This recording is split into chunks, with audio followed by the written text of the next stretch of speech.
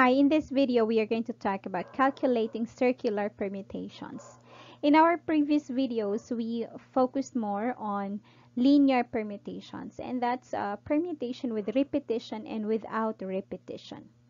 In this lesson, um, it is expected that the end of this lesson you'd be able to accurately compare linear and circular permutations correctly calculate circular permutations and solve problems involving circular permutation. So, paano ba sinisolve yung uh, circular permutation? So, if we have circular permutations of n objects, that is just n minus 1 factorial. Okay, n minus 1 factorial. Very easy to memorize. So, if we have um, circular permutations of four objects, we use the formula n minus 1 factorial with n as 4. So that is just 4 minus 1 factorial.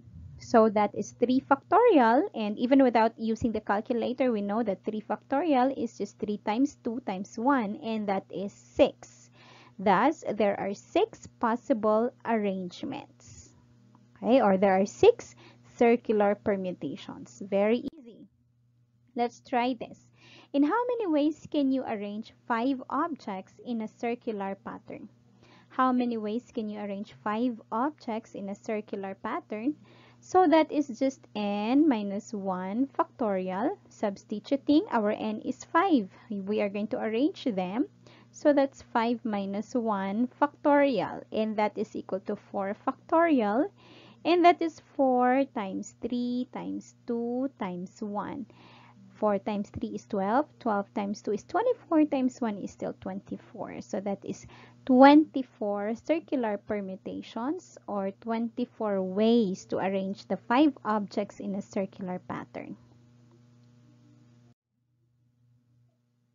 Example number 2. In how many more ways can you arrange 4 objects in a linear pattern than in a circular pattern? So here we are going to compare how many ways can we arrange uh, those four objects using linear permutation? And how many ways can we arrange those four objects in a circular pattern? Saan ba yung mas marami? Okay? And gaano ka mas uh, gaano ba karami yung uh, agwat ng dalawa? Okay?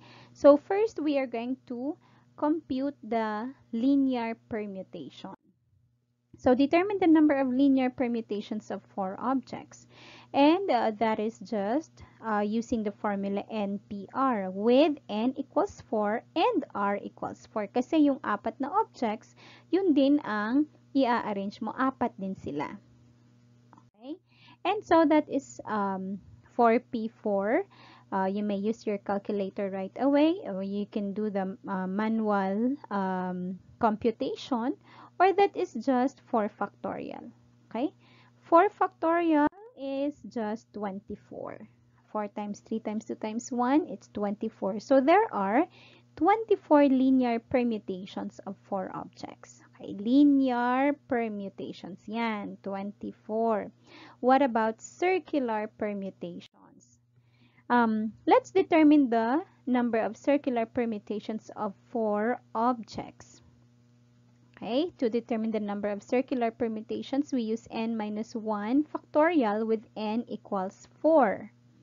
And so that is uh, 3 factorial and that is just 6. So therefore, there are 6 circular permutations of 4 objects. Okay, so we had 24 linear permutations and 6 circular permutations. So, mas marami yung linear permutations, ano, yung linear pattern kaysa sa circular pattern. So, ilan ba? So, how many more ways? How many more ways?